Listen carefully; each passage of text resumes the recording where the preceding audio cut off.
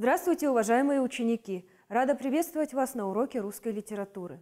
В романе Льва Николаевича Толстого «Война и мир» показана жизнь русского общества начала XIX века, периода войны 1812 года. Толстой пытается осмыслить роль женщины в обществе и в семье. Название романа вынуждает автора разделить произведение на две части. Первая часть – это мир, а вторая часть – это война. Война традиционно ассоциируется с мужскими качествами – холодность, грубость, жестокость. Мир же отождествляется с размеренностью, со спокойствием повседневности и образом женщины. Именно о женских образах в романе мы и будем сегодня говорить, а точнее об их месте и роли в произведении. И наш разговор следует начать с того, что почти все женские образы имеют прототипы. Перед началом работы над романом автор – складывает в своем сознании образ, которым хочет поделиться с читателем. Так Толстой признавался в письме своему другу детства, что прообразом семейства Ростовых послужила его собственная семья. Также он неоднократно говорил, что многие черты и характеры персонажей были позаимствованы у реальных лиц, а события, описываемые в романе, имели место и в действительности. Существует несколько версий происхождения главной героини романа Наташи Ростовой. По одной из них прототипом Наташи Ростовой стала сестра жены Льва Николаевича Татьяна Кузьминская. По другой же автор позаимствовал готовый шаблон из некоего английского романа и просто снабдил героиню чертами своей жены, Софьи Андреевны. Сам же Толстой говорил, что Наташа Ростова – это микс, смесь характерных черт женщин, имевших значение в его жизни. Княжна Мария Балконская списана с матушки автора, Марии Волконской. Примечательно то, что автор почти без изменения оставил имя персонажа, максимально приблизив его к имени прототипа. В старшей графине Ростовой угадываются черты бабушки писателя Пелагеи Толстой. Автор относится к этим персонажам с большой нежностью и теплотой – Видно, что Толстой вложил много чувств и эмоций в создание этих образов. А прототипом же Лизы Балконской послужила жена его старшего брата Луиза Волконская-Трусон. Давайте более подробно рассмотрим женские образы этого романа. В общем, их можно поделить на две большие категории. К первой категории относятся женщины-носительницы народных идеалов, такие как Мария Балконская, Наташа Ростова и похожие на них. Им противопоставляются женщины светские, дамы высшего общества. Это Элен Курагина, Анна Павловна Шерер, Жюли Карагина и другие. Самым же ярким женским образом в романе является образ Наташи Ростовой. Будучи истинным мастером изображения людских душ и характеров, Толстой наделяет эту героиню самыми лучшими человеческими чертами. Он не хочет делать ее умной, расчетливой, приспособленной к жизни и в то же время бездушной, как он поступил с другой героиней, Элен Курагиной. Простота и одухотворенность Наташи делают ее намного более привлекательной, чем Элен с ее умом и прекрасными манерами. Многие эпизоды романа описывают, как Наташа помогает людям, облагораживает их, вдохновляет, делает лучше, чище, возвращает им веру в жизнь и наставляет на правильный путь. Но Наташа не только помогает людям в сложных жизненных ситуациях, еще она дарит им радость и счастье. Она позволяет любоваться собой и делает это абсолютно бессознательно и бескорыстно. Так же, как к народу, Наташа Ростова близка и к пониманию удивительной красоты природы. Описывая сцену в Отрадном, Толстой соотносит чувства двух сестер и ближайших подруг – Наташи и Сони – Наташа, чья душа исполнена чистоты и поэтичности, просит Соню подойти к окну и полюбоваться красотой бескрайнего звездного неба и вдохнуть запахи тихой ночи. Но Соня не может разделить восторженного возбуждения сестры. Она добра, мила, честна, не совершает плохих поступков, проносит сквозь годы свою любовь к Николаю. Соня слишком хороша и слишком правильно. Она не совершает ни одной ошибки, которая позволила бы ей извлечь хоть какой-то жизненный опыт и получить стимул к дальнейшему развитию. Наташа Ростова же совершает эти ошибки и черпает из них необходимый опыт. Она встречает князя Андрея, который кажется полной противоположностью юной графини Ростовой.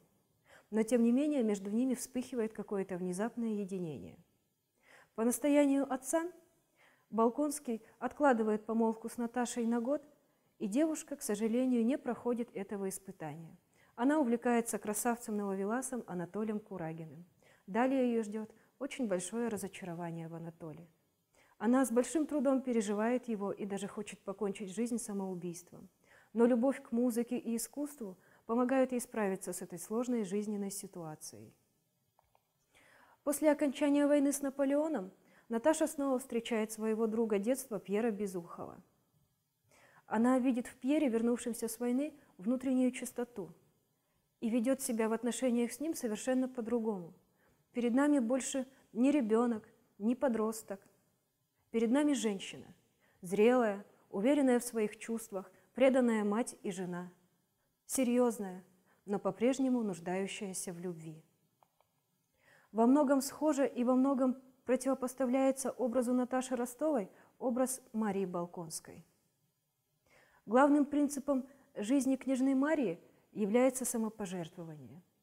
Это самопожертвование и покорность судьбе сочетаются в ней желанием простого человеческого счастья.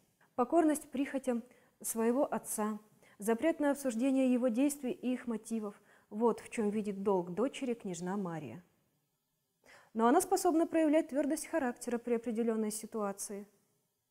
И это мы видим, когда затрагивается ее чувство патриотизма. Оно оскорблено. И она не только покидает свое родовое имение, отказываясь от предложения мадемуазель Бурьен, но и запрещает пускать к себе свою компаньонку, когда узнает о ее связях с французским командованием. Но княжна Мария способна пожертвовать своей гордостью – ради спасения другого человека. Это видно, когда она все-таки просит прощения у Бурьен, прощения за себя и за слугу, на которого обрушился гнев ее отца.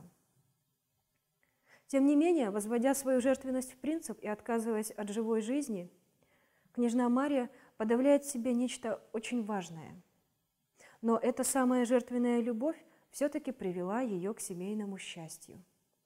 При встрече Николая и Марии в Воронеже Вся та чистая, душевная, внутренняя работа впервые вырывается наружу. Как личность Мария Балконская вполне проявляет себя, когда обстоятельства вынуждают ее проявлять самостоятельность в житейских вопросах. Это происходит после смерти ее отца и, главное, после того, как она стала женой и матерью. О гармоничности и богатстве внутреннего мира Марии теперь уже Ростовой – говорят нам и ее дневники, которые посвящены детям, и ее облагораживающее влияние на мужа. Этим женщинам, Наташе Ростовой и Марии Балконской, очень похожим между собой, противопоставляются светские дамы – Элен Курагина, Анна Павловна Шерер и Жюли Карагина. Первая из них – Елена Васильевна Курагина, красивая молодая княжна, которая стала первой женой Пьера Безухова – она похожа на античную статую, а ее лицо оживляли большие черные глаза. Элен хорошо разбиралась в моде и слыла большой любительницей платьев и драгоценностей. Что характерно для ее нарядов, так это то, что они всегда были очень откровенны. Они открывали плечи и спину. Она выказывает спокойствие характера, сдержанность, воспитание, вполне соответствующее истинной светской даме. Для этой героини характерны общительность и любовь к шумным приемам, которые она и устраивает у себя дома, собирая чуть ли не весь Петербург. Внешность Элен, ее внимание к своей красоте, улыбке, плечам – все это характеризует женщину как бездушную и зацикленную только на одном – на телесности. На самом же деле Элен глупа. У нее нет ни ума, ни высокой нравственности, но она может хорошо себя подать, Поэтому у многих людей сложилась иллюзия о том, что все-таки она умна. Холодность, расчетливость, беспринципность, подлость – вот что отличает эту девушку. А в нравственном же плане она недалеко ушла от своего брата Анатолия. Как и самовлюбленная Элен Курагина, хозяйка модного светского салона Анна Павловна Шерер предстает перед нами холодной, лживой, циничной и бездушной. Эти две женщины очень похожи между собой. И в начале романа автор отмечает, что Элен, когда чей-нибудь рассказ производил впечатление, всегда оглядывалась на Анну Павловну, и ее лицо принимало то же самое выражение, что было на лице Фрейлины. Характернейшей чертой Анны Павловны является статичность. Статичность мимики, жестов и даже мыслей. Сдержанная улыбка, игравшая постоянно на лице Анны Павловны, хотя и не шла к ее отжившим чертам, выражала, как у избалованных детей, постоянное сознание своего милого недостатка, от которого она не хочет, не может и не находит нужным избавляться. За этой характеристикой скрывается авторская ирония и неприязнь к персонажу.